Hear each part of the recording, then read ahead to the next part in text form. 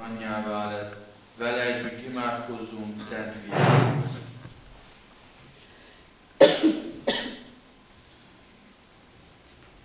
Add, Urunk, hogy Szent Atyán, püspökeink, papjaink és a szerzetesek a Szent Szűz alázatos lelkületével teljesítsék